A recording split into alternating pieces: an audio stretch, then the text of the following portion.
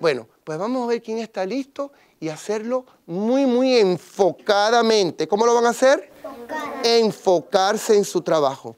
Mesa número uno, adelante. Miren qué bonito están yendo los niños y niñas de la mesa número uno. Mesa número dos, adelante por favor, y a pensar en esa combinación de manzanas rojas y verdes que el Señor Santo necesita para un regalito de su cumpleaños. Mesa número 3, adelante. Qué bien lo están haciendo. Excelente, qué independientes. Mesa número 4, adelante.